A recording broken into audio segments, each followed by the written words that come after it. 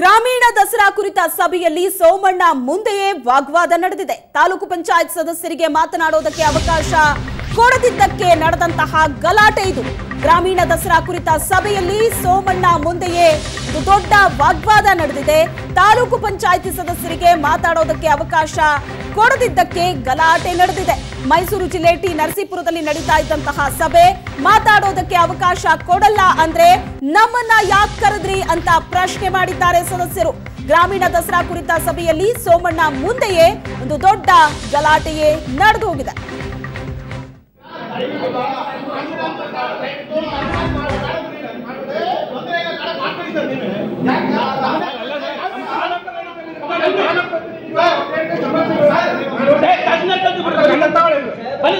sir ನೀವು ಕೊಟ್ಟು notice ಕೊಟ್ಟು ನೀವು ಬಂದಿಲ್ಲ ಬನ್ನಿ